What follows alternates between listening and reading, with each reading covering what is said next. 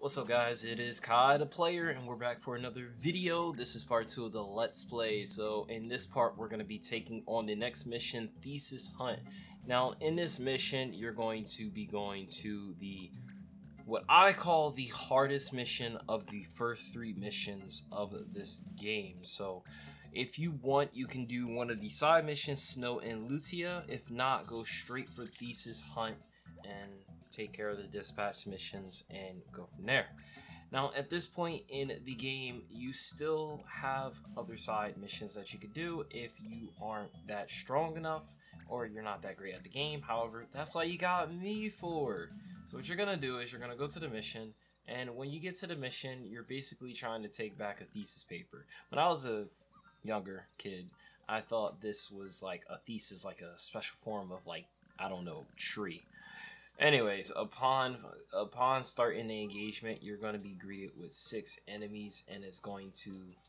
Uh, let me make sure I get this right. So it's going to be two thieves, a white mage, a soldier, a archer, and another soldier. So two soldiers, two thieves, an archer, and a white mage. Now the white mage is, I mean the white mage isn't too much to worry about, but the soldier and thieves are going to be the ones that you're going to worry about in, in this mission. So make sure that you keep your white mage constantly healing you guys. So you're going to go ahead and dispatch the enemies. I mean dispatch your team. You're going to go from there. So if you have any extra teammates on, then just go from there. when I say this one is the hardest, you will likely lose a unit or two during this match, as I did when I was playing. Even playing again, you are going to lose someone, while the thief won't do a lot of damage since they go faster and they tend to have a higher like dodge rate it's going to be really annoying when it comes to fighting. So the one tactic that you could do that I didn't try to do in this video is simply to corner each enemy, take them out, and then if for some odd reason they give one of your friends a problem, use the white mage as backup to heal because one tactic that you could do in this game is when you corner a enemy by all four of their sides, they can't move until they kill one of your units. So that's a tip for anyone who wants to be able to keep a unit in place. Anyways, so that's one tactic. And as far as your white mage, your weaker units, you want to keep them kind of in the back. Now, what tends to happen is, is that in this game, the enemies will go after the weakest unit if they're within range. So keep that in mind. The white mage going to be getting hit a lot.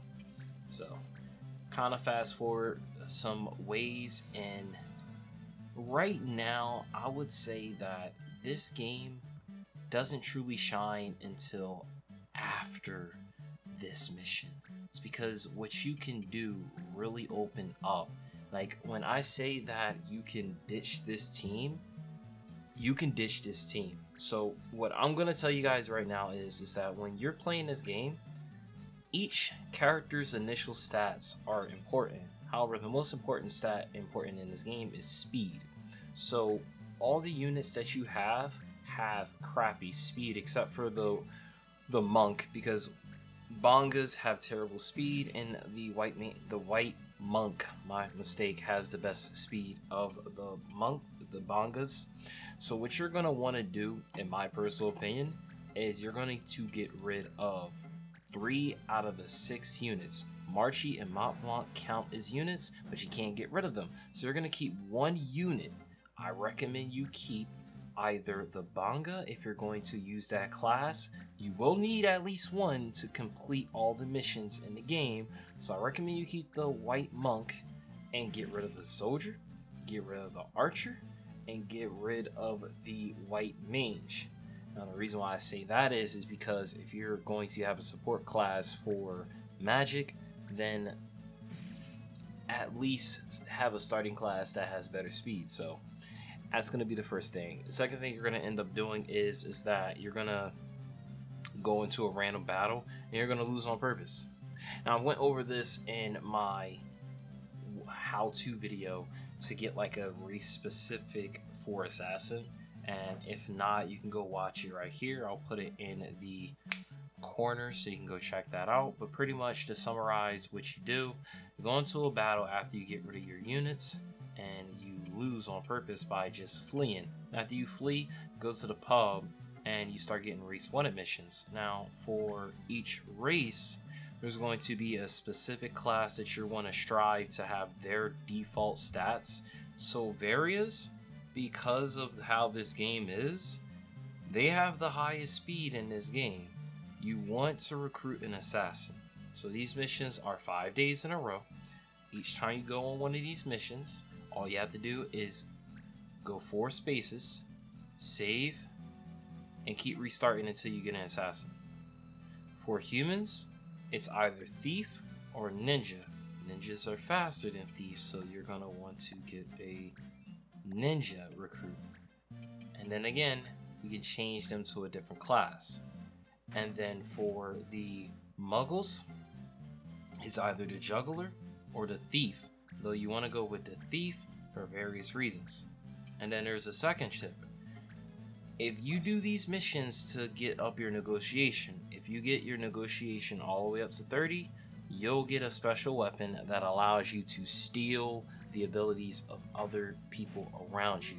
So this is as important because if you're going to play this game casually, you don't have to worry about trying to get this weapon. If you're going to play this game a little more coreish, then the stuff I'm telling you right now is really important because it's going to help you out in this game and it's going to make playing this game a breeze. I can I can tell you right now, if you do this this game is going to be like a breeze. It's going to be fun. It's not going to be a cakewalk completely, but it will be a lot more casual and fun if you put in the work early on. So you saw that we got Mont Blanc dead. Our white mage is killed, and our team just just sucks. We don't have enough money to go crazy at the shop, so it's whatever. So we're gonna go ahead and fast forward a little bit more, and we got rid of some of the enemies now, they have a white mage, and they have a soldier, and they have an archer.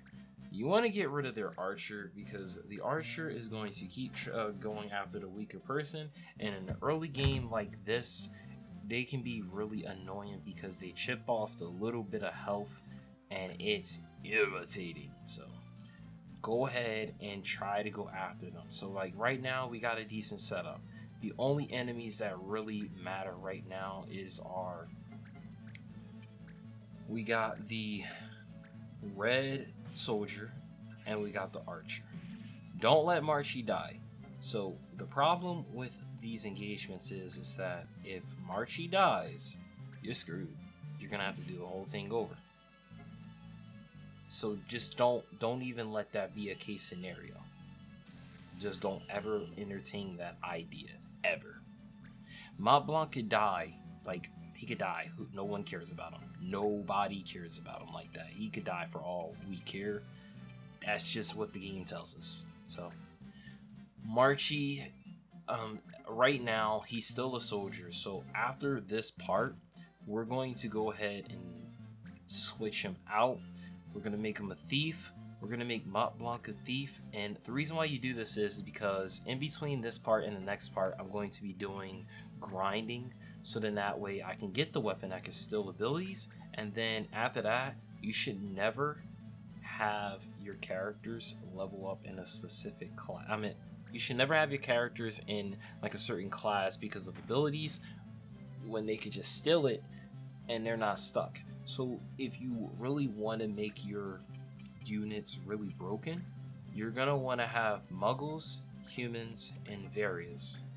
The Nu Mous are kind of terrible unless you really want to use magic, and Bangaas are slow but they're power hitters. So really, if maybe you have a support moogle who has smile, it could be really useful to have a Bangaa who's like broken if that's the case. If not, then I would urge against using a manga when it comes to these battles.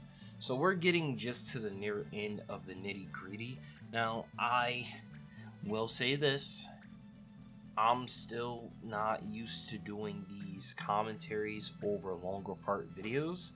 I'm not a bad commentator, it's just that most people don't tend to watch this long and I don't want to disappoint people and seem like I'm coming across boring. So that's why like my videos usually are pretty short. We're talking about minute to minute, three minutes at most.